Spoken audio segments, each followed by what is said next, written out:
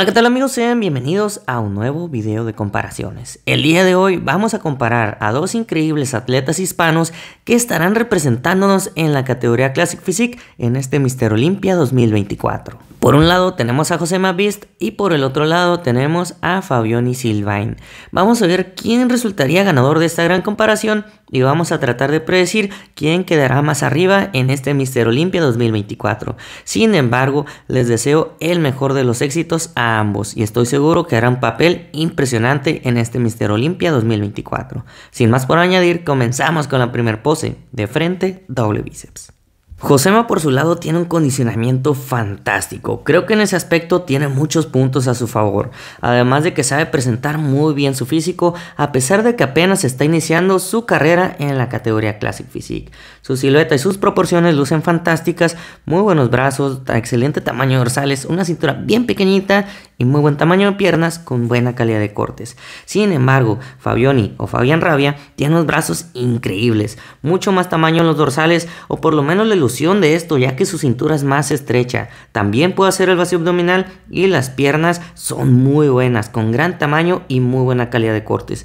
Creo que el tamaño es el factor determinante en esta pose. Fabioni luce gigantesco, no solo es grande en cuestión de masa muscular, sino que también es de los culturistas del Classic Physique más altos en la actualidad. Para mí, esta pose la gana Fabioni Silvain.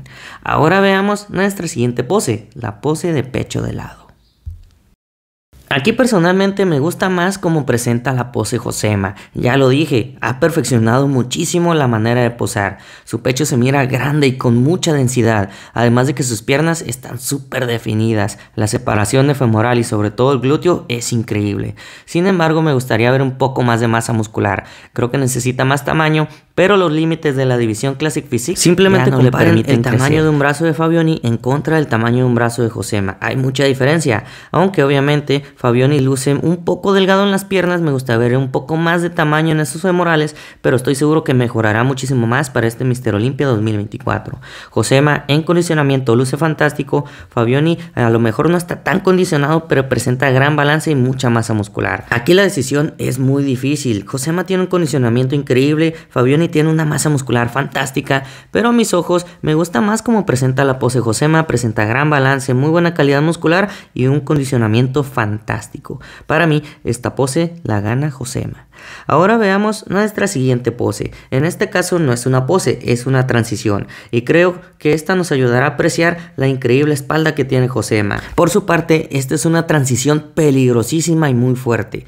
Vean los detalles, vean la densidad y madurez muscular que tiene en la espalda y en los femorales, ni se diga en los glúteos. Fabioni tiene ese tipo de calidad y detalles por lo menos en la espalda baja, pero en el tren inferior creo que sí se queda muy corto en términos de condición. Josema tuvo que llevar su cuerpo al límite para poder dar el peso de la división y esto lo obligó a llegar súper condicionado. Le trajo ese beneficio, que llegó con una condición, creo yo, que muchos culturistas en la actualidad logran o pocos logran alcanzar. Josema ha logrado lo que muy pocos culturistas pueden hacer, llevar su cuerpo al límite y presentar este tipo de transición tan increíble. Fabioni no luce mal en el tren superior, pero definitivamente en el tren inferior se queda corto en contra de Josema.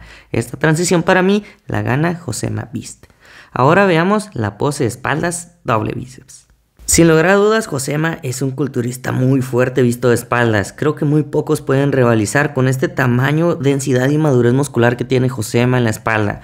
Y además de esto, tiene un condicionamiento increíble en el tren inferior. Fabioni se queda muy corto e incluso sus piernas se miran muy delgaditas en comparación a las de Josema. Fabioni tiene una espalda muy buena, ya lo demostró sobre tarima. Sin embargo, la increíble espalda de Josema es muy poderosa puede rivalizar e incluso podría derrotar a Chris Bumstead en esta pose, no tengo dudas, pero para mí definitivamente en esta comparación esta pose la gana Josema, no porque Fabioni sea malo, sin embargo simplemente Josema es muy superior. Para mí, esta pose la gana Josema Beast. Ahora veamos nuestra siguiente pose, la pose abdomen y muslo. Josema tiene cualidades muy buenas, sin embargo, en ciertas poses debo decir que su cintura sí se mira muy gruesa. En esta pose abdomen y muslo no tienen la cintura más pequeña, sin embargo sus dorsales ayudan a crear cierta ilusión de tener una cintura estrecha. Su abdomen presenta muy buena separación muscular y a lo mejor me gustaría ver sus piernas un poco más rayadas, pero mucho tiene que ver la iluminación del evento. Fabiani por su lado luce espectacular, parece un superhéroe o una figura de cómic. Sus dorsales súper grandes, una cintura muy pequeña y unas piernas con gran tamaño y muy buena calidad de cortes estas piernas de Fabioni. Una pose increíble, me gusta mucho su físico, la verdad es que tiene muchas cualidades bastante buenas y estoy seguro que ambos darán una pelea increíble y tengo mucha curiosidad de saber quién quedará por encima de quién, pero lo más importante es que den lo mejor de sí y nos representen de una manera muy buena, estoy seguro que así será. Para mí esta pose la gana Fabioni. Y ahora, aquí tenemos nuestra siguiente pose, una pose clásica de ambos. Como no están ejecutando la misma pose, ahora sí que depende realmente de qué pose te gusta más y qué físico te gusta más. Josema por su lado me gusta mucho, luce muy estético, una cintura súper pequeña en esta pose con el vacío abdominal, se mira muy bien y sus piernas presentan gran tamaño. A lo mejor con un poco más de masa muscular en ese brazo luciría muchísimo mejor. Y lo que tiene Fabioni es que tiene unos brazos gigantescos, muy buen tamaño dorsales, una cintura pequeña con buen vacío abdominal y sus piernas presentan mucha masa muscular y gran calidad de cortes. A mí personalmente me impresiona y me gusta más el físico de Fabioni en esta pose, pero recalco que ambos lucen fantásticos. Para mí esta pose la gana Fabioni. Y bueno, pues nuestra comparación ha cerrado empatada, pero para mí el competidor que quedará un poquito más arriba que el otro sobre el Mister Olympia 2024 será Fabioni Silvain. Para ustedes, ¿quién creen que quedará más arriba en este Mister Olimpia 2024? Los leo en la casilla de comentarios.